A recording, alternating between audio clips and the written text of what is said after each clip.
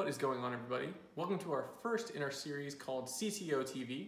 This is the first of a new series where we'll be taking a portion of the tech world, whether it be data, cloud computing, uh, AI, machine learning, and really just taking a moment and distilling down everything that's happened, whether it be in the past few weeks or months, in this domain. There are hundreds of thousands of articles being posted weekly on Medium, dev.to, Business Insider, and so many other places that it can be hard to distill all this information and all that's important down into like just a 15 minute segment. Our goal is to take one section of the technical world and really just concisely break down everything that's kind of happened that we might find interesting, that you as a CTO or developer might find worthwhile knowing uh, so you can make better decisions, whether it be design decisions, third-party products that you might consider buying, or new cloud technologies that you might want to implement into your systems. So for the next 10 or 15 minutes, I just want to take a moment to discuss what is happening in the technical world. That way, whether you are a CTO, a developer, a director, a small business owner, or really anyone that's interested in what's going on, you can kind of get a good glimpse into all the changes, all the new things, all the new investments, and really just a general understanding of what's going on. For today's episode, I really wanted to focus on SQL and databases. This is for many reasons. One being SQL and databases are my bread and butter. Uh, it's where I've started. It's what I still do a lot of work in, whether it be consulting um, or, or daily work. So I really enjoy working with these things and I really feel like I have a pretty decent understanding of everything that's going on and spend a lot of time figuring out what's new and what's changing. What I also find interesting about SQL is it's one of those hidden in-demand skills that I don't think everyone knows about. What I mean here is that a lot of people who come from a business background don't tend to learn about SQL in their day-to-day -day classes in college. However, it's often that these people are the ones that need it the most. It's similar to like Excel was in like the 1980s and 90s, SQL is becoming this very valuable tool oddly enough, SQL has been around since the 1970s, and unlike many other languages and paradigms that have changed rapidly and come and gone, SQL's remained the same. You know, there's tons of tools that have tried to replace SQL. There's drag and drop tools. There's, you know, various new query languages, but SQL is the one that I feel like has remained mostly the same, minus, you know, changing and evolving with the times, unlike many programming languages that seem to disappear as fast as they're created. However, this isn't to say that SQL and databases haven't changed rapidly and a lot in general over the past 50 years. This is probably one of the reasons SQL has stuck around for as long as it has. It has evolved with the times in order to keep up with the demands, whether it be analytical or transactional, that businesses put on their databases. This specific episode will discuss some of these trends that are happening right now in the SQL world. We will be discussing how SQL in the last couple of years become, has not only become more collaborative and ubiquitous, and the databases that really stand out are honestly the ones that are open source, not the classic Oracle and MS SQL that really ended up running a lot of the world until somewhere in around the early 2000s. With so much going on in the technical world, especially even in the SQL world, we hope that the next 10 or 15 minutes will be really helpful in condensing down everything that's going on and will really provide you some valid insights into the world of SQL. So one of the first points I wanted to cover is that SQL is just becoming more ubiquitous and more in demand than ever in the sense that it's not only engineers that are using it anymore, now everyone from analysts to product managers are really starting to see the value in understanding SQL and using it to analyze data that can then drive decisions. I've seen this in friends who work at FANG companies who maybe originally got some sort of finance degree and never learned any SQL in their undergrad, but then quickly, maybe they worked at Amazon, had to develop SQL skills in order to make data-driven decisions, uh, in order to provide their managers and directors with clear insights in order to support whatever position that they were taking. SQL has really become very similar to Excel in that way, in the sense that what used to be skills in Excel, now it's Excel plus SQL. You can't just be good at Excel because you need to somehow be able to get the data. And since most data engineers and software engineers are really busy building data sets, analysts and product managers are really often left to fend for themselves when they're trying to get all of these different data points. Most data engineers and BI developers don't have time to gather every ad hoc data requests to provide at the rate that analysts and product managers need. Often, you know, analysts and product managers need the data the day of and right then and right now. This is usually not the, the pace that most BI, IT, data engineering teams work. And this is what's really pushed a lot of new tools in the collaborative SQL space. You can think very similar to uh, like a Google Sheets or Figma in the sense that these tools are allowing multiple users to write queries and manage revisions. Tools like Popsicle or you could maybe say Pop SQL or Pop SQL, has recently kind of come around as a very easy to use tool that allows you to write queries, collaborate, uh, and share that query with other people, as, well as easily create charts with that query uh, without having to publish a Tableau or anything. And even from there, you can easily publish CSVs and push them out, whether it be to Slack or something similar, and really just get that collaborative environment going. So that way, even a product manager can come in, look at the SQL, look at the charts, and really get a good understanding of what's going on, from an analyst or a data engineer. That ability to kind of give self-service analytics is kind of this new goal. Um, I mean, it's been a goal for a while, but how we approach it has constantly been changing and, and trying to find the right way where you can give analysts and product managers access to the data so they can answer their own questions has been a real fight. So this is where I think like tools like Popsicle um, and a few others are really trying to fill the gap. Some tools out there are taking a more complex approach where they're trying to use natural language processing to you know, detect what questions uh, someone might be asking, you know, what is the average sale price of whatever region, you know, something similar to that, where what I just said in SQL is actually pretty obvious, you know, something there was average, so you say select average and group by some region, uh, filter by some region, whatever it might be. So that's that's pretty straightforward, but sometimes queries become more complex. And this is where things like Popsicle might come into play because it allows your team to maybe work collaboratively to understand the business logic. Because I think this is usually the big case that, uh, this is usually the big area that a lot of people struggle with is the BI team does not necessarily understand uh, the business of whatever teams may be requesting data. And so there's all these nuances and, and little understandings that are hard to gain a grasp of. And so that's why this whole collaborative approach, I think, is a great method. In the end, these tools are really a great step in the whole self-service direction. I do think that we'll see either something like Popsicle or similar tools really start to take off because it, again, it gives more control to the people who need it. As we're going into a data-driven world, there will never be enough data engineers, BI, or IT teams to answer every ad hoc request. Uh, in order to answer every question, it just it just can't happen. There's no way you could scale it. As someone who's been in that position, you can't scale every request. You'll, you might get in three or four requests in a day, and to write that proper query, it often takes more than 30 minutes. Uh, oftentimes, if you want to make sure it's right, um, whatever the business logic is, whatever it might be, it usually takes a long time because data's never clean, data's never perfect, and there's always something wrong. But before I ramble on too long, let's go on to the next section we're going to talk about open source. So for a long time, paid license databases were probably arguably the most popular databases to use, things like Oracle and Microsoft SQL Server. This is because they honestly performed really well, and a lot of people don't even know that Oracle ran and continues to run a lot of the world. A lot of your transactions, a lot of everything that happens in the world runs on Oracle. Even Amazon, for the longest period of time, ran on Oracle up until uh, supposedly Larry Ellison, the CEO of Oracle, kind of made a joke about how Amazon runs on Oracle, and then supposedly, at least again, rumors say that uh, that's the day that Amazon decided they would no longer uh, rely on Oracle. But that's not where this section is going. What I want to talk about is open source. Open source databases have existed for a long time.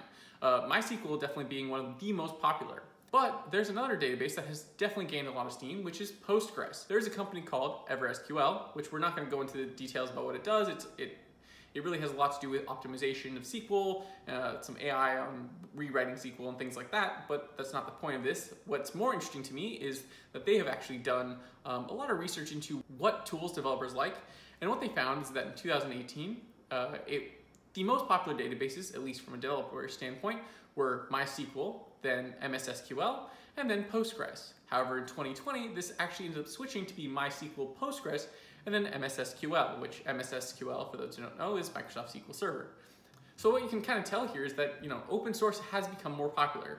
Uh, probably one of the reasons being that Postgres is a very popular option for people switching from Oracle um, to Postgres. One of the reasons being is one, uh, these open source options have become just as powerful or just, you know, you can use them in certain methods, whether it's sharding, etc., that they can really operate the same as the paid license databases. But two, companies are making tons of money on them by running them as services. So for example, AWS has RDS, Relational Database Services. In that, you can run Postgres, you can run MySQL, and several other database systems where you will be charged, but not for the software, just the usage. This new model has made Amazon tons of money, and the only software they had to make was the management software. So they're basically getting paid from the management of MySQL and Postgres, not the actual software itself. It's kind of, kind of a brilliant plan. These two databases were never really developed for the cloud in the first place. These two databases came about when things were on premise. So what about open source cloud? there's actually probably a lesser known database option. It's called Yugabyte DB. Yugabyte is actually a more recent up and comer, um, and it's the goal of Yugabyte is really to solve supposedly all the problems of both NoSQL and SQL databases. Okay, not all of the problems, but many of the big ones, in the sense that their goal is to create a database that has all the benefits of you know NoSQL and all the benefits of a SQL database. So it's ACID compliant, meaning you know you have consistency, you know that your data is not going to leak or just or get dropped off somewhere, while also automatically sharding, automatically load balancing, and all these other benefits um, that some NoSQL databases have. Yugabyte's actually been around for a little bit. Uh, it wasn't until 2019 that they became open source, so that means they were actually around a little bit prior to that. But this month, they actually ended up getting $30 million more worth of funding uh, spread across a couple of funds, specifically one of the bigger ones being Wipro, and Wipro is really pushing it on their clients. So this is kind of an interesting point because we didn't see Yugabyte on EverSQL's survey, but maybe we'll see it in the next few years. Again, this is still a new system. Honestly, all the promises they're making, we've heard before, and we, we are curious to see, you know, if Yugabyte can deliver. Um, if they can, we probably will in the next three to five years see a lot more companies use them or some other company will try to replicate what they're doing and you know replace them. But whichever way, you'll end up having a system that is a more complete database than we've ever really had before. But Yugabyte is not the only distributed database system that is getting more funding. But in this case, what I'm to be referring to is more of a data warehouse database system versus more of something that currently is being aimed towards applications. Some of you might not know what data warehouses are, but data warehouses really drive a lot of the analytical part of companies. They're what people develop dashboards upon, metrics, etc. It's the classic OLTP versus OLAP, online transaction processing versus online analytical processing. These are two very different schools of thought in the sense that both the database systems that typically run them and the way you build that database are actually slightly different because they're trying to do different tasks. Transactions deal with transactions, so you purchasing products, you going to an event, you going to a website and clicking something. These are all kind of transactions. They're a single line typically inserting into a database or updating somewhere in the database. Whereas analytical databases are tending to be more focused on running over billions of rows, some sort of aggregation or, or calculation. So these two problems need very different solutions.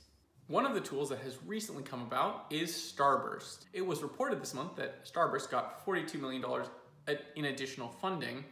Um, but what is Starburst, unlike a lot of other uh, systems, is actually a riff off of Presto in the sense that they took Presto, uh, and for those who don't know what Presto, what Presto is, it's basically a SQL engine developed by Facebook uh, to sit on top of pretty much almost anything or any database. So you could have it sitting on top of like MySQL, Teradata, or multiple other systems and kind of bring all that data together and analyze it.